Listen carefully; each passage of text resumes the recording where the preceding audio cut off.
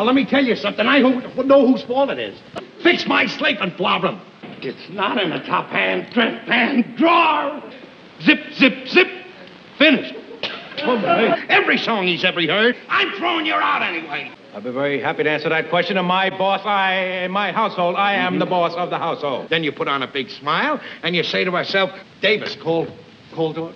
She called her up today. All you like, you're beefing and screaming. When is my ship coming in? So you're gonna twist me and him into bookends. Pins and needles, needles and pins.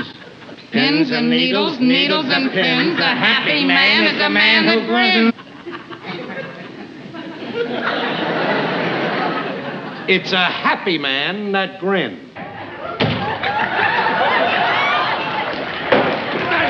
Wait, I shut the door.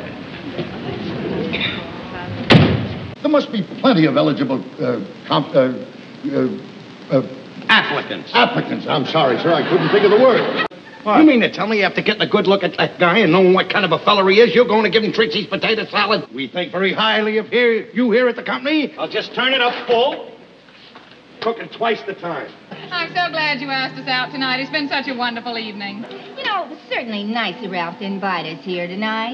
It's a small box. You better put it all in. Case it's too much, I won't eat it. When it gets to mambo music or samba music, that's I'm out.